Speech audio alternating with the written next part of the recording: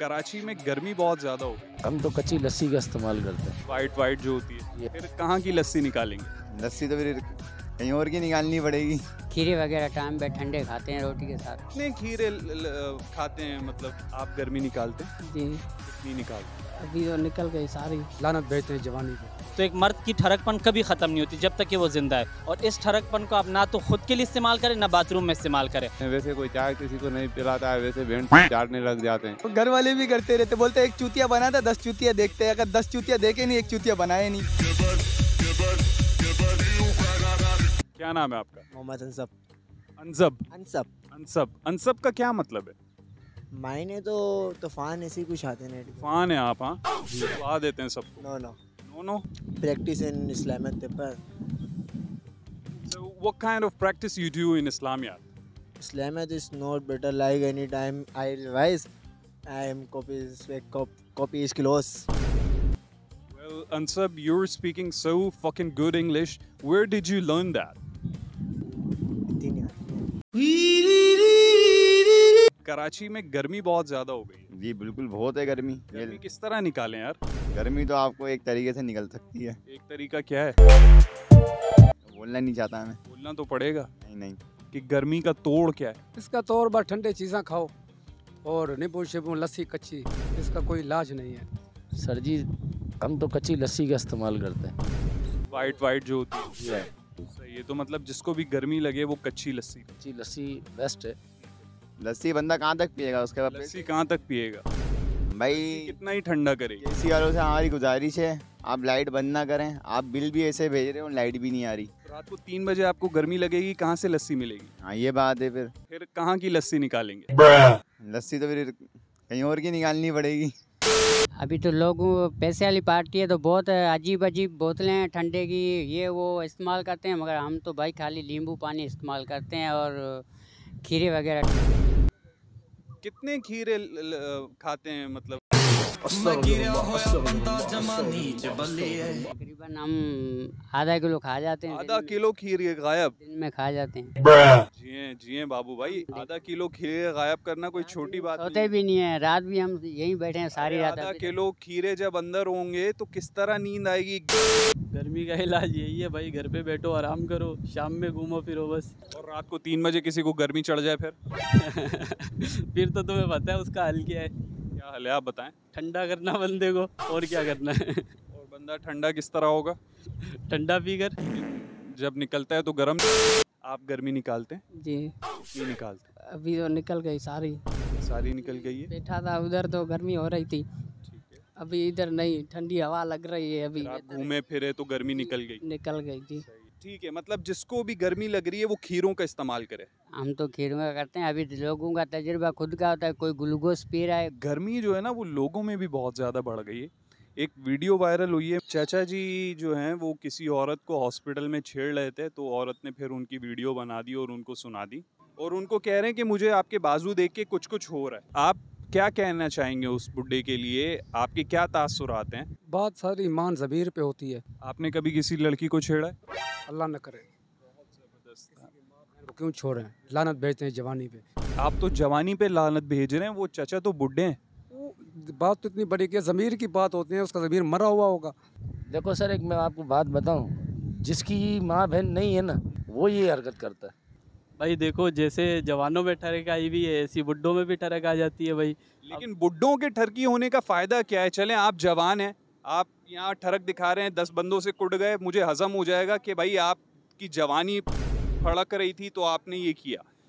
चचा जो हैं बुढ़े चचा जिनकी इतनी लंबी लंबी सफ़ेद दाढ़ियाँ हैं उनको क्या फ़ायदा है मतलब उस ठरक का? देखिए वो एक मिसाल है कि उम्र जो है वो बचपन की दिल बचपन का। तो ऐसी होता है कि जब तक एक मर्द ज़िंदा है, जवान है, अगर वो सत्तर साल में भी चले जाते हैं तो उसकी जवानी ख़त्म नहीं होती, क्योंकि हमारा रिप्रोडक्टिव सिस्टम कभी भी फेल नहीं होता। तो एक मर्द की ठरकपन कभी ख़त्म नहीं होती जब तक कि वो ज़िंदा है। बस अभी अल्लाह ही जाने उनकी बस आँखें भूखी है करना कुरना तो कुछ भी नहीं होता है बस आँखें भूखी। आँखें भूखी और तो कुछ करने का तो नहीं अस्सी पचासी साल उम्र है उसकी तो फिर इस मगर बा- वो असल में वो ऐसे बुढ़े लोग ऐसे नि, नि, वो एक जहनी तौर पर जो है ना एक जहनी दिमाग उनका थोड़ा ना गलत फहमी पर है चचा इस वक्त आपको देख रहे हैं वीडियो में। क्या कहना है चचा को? डायरेक्ट चचा से बोले। चाचा जो आपने करा है ना गलत करा है। कल को आपकी बेटी जाएगी किसी डॉक्टर के पास उसके साथ ऐसा हो गया डॉक्टर ने बोला। डॉक्टर ने लाओ टीका लाओ डॉक्टर क्या? डॉक्टर ने लाओ टीका लगाओ यार उसने कोई और सा टीका लगा दिया आप क्या कर चाचा इंसान बनो नहीं तो बना देंगे। जिए शानी भाई जिए। चचा यार खुदा का खौफ करो यार। नमाज़ वमाज पढ़ो अल्लाह खुदा का नाम लो। हमारी एज है अभी ये करने की आप कर रहे हो। नहीं हमारी भी एज नहीं है लड़कियाँ नहीं छेड़ते हम। अच्छा आप नहीं छेड़ते? मैं हम मैं कहाँ छेड़ता हूँ? मैं कह रहा हूँ कि हमारी एज में ऐसे होते हैं तो चचा की एज में क्यों हो रहे हैं? क्या मैसेज देना चाहेंगे आप ऐसे बूढ़ों को जो कि इस तरह की ठरकी पने में मशगूल हैं? नहीं। ये नहीं करें तो शायद। बोले इंसान के बच्चे बनो। इंसान के बच्चे बनो। आप ठरकी बुड्ढे ना बनो। ठरकी बूढ़े ना बनो। अपनी ठरक का जी अपनी ठरक का ख्याल रखो। अपने सामान की अपने सा, सामान की खुद हिफाजत रखो। देखिए पहले तो आपके पैर कबर में है आप इस चीज़ से मना हो। अगर आप नहीं होते तो अपनी ठरकपन छोड़ें और इस ठरकपन को आप ना तो खुद के लिए इस्तेमाल करें ना बाथरूम में इस्तेमाल करें। Answer, have you ever fall in love? Love is not better. Love is anytime is take it all money. You are calling for please जानू बैलेंस करा दें ये ऐसे ऐसे मैसेज करती हैं ये इन चीज़ों में पैसा वेस्ट करना फजूल है इससे अच्छा अपनी माँ के ऊपर टाइम वेस्ट करो।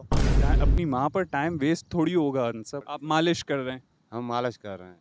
um, मैंने सुना है कि जो मालिश करते हैं उनको जो कुछ बड़े घराने के लोग हैं अमीर लोग हैं वो आके गलत गलत ऑफ़र भी करते हैं।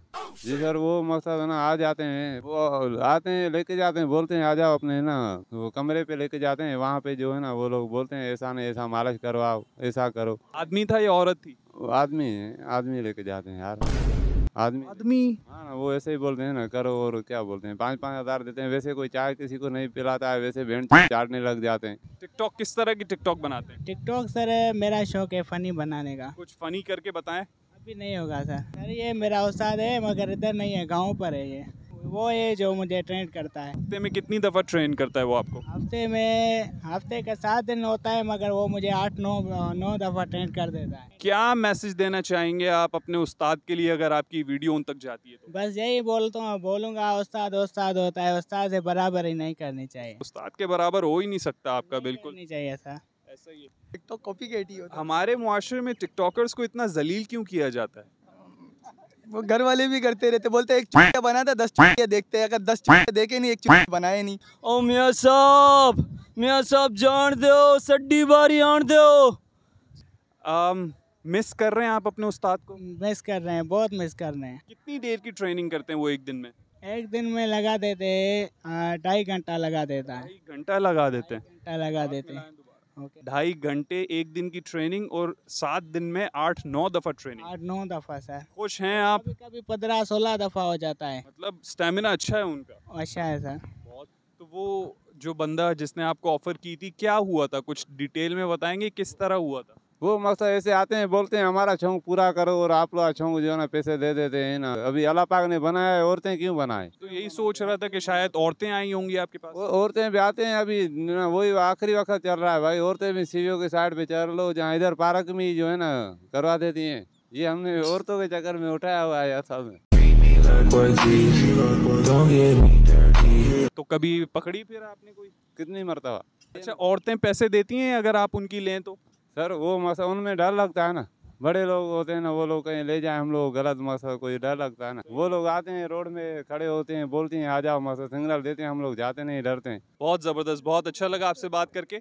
एक दफ़ा कह दें अली एजाज को सब्सक्राइब करें। अली एजाज को सरप्राइज़ बहुत शुक्रिया बहुत शुक्रिया। ये जब आपको ट्रेनिंग देते हैं तो आप सेटिस्फाई होते हैं?